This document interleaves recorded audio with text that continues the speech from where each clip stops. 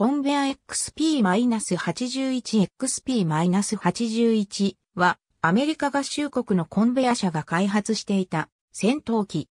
試作機が2機製造されたのみで正式採用はされなかった。第二次世界大戦中にアメリカ陸軍航空軍はコンベア社に対し戦略爆撃機を護衛する長距離弾座戦闘機の開発を要求していた。コンベア社はターボジェットエンジンとターボプロップエンジンの両方を搭載した混合動力機を提案し、高速性能と巡航性能の両立を目指した。この提案はモデル109として1943年9月に行われ、1944年2月に試作機 XP-81 の発注を得た。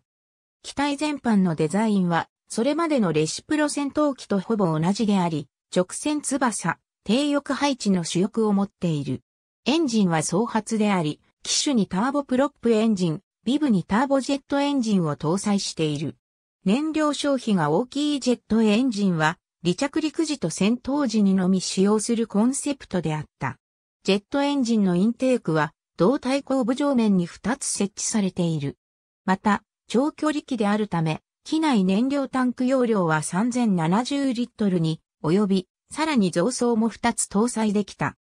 XP-81 の初号機は V-1650 から7レシプロエンジンと J-33 ジェットエンジンの組み合わせを搭載し、1945年1月にミューロックイヌイコで初飛行している。飛行試験中に時速 740km を記録するなど高速性は発揮している。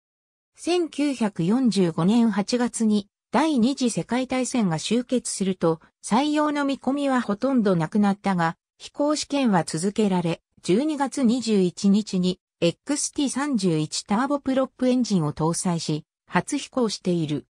1947年1月には2号機も初飛行したが2400馬力を予定していた XT31 ターボプロップエンジンの出力が1400馬力ほどしか発揮できず、戦争の終結もあって1947年9月に開発は中止された。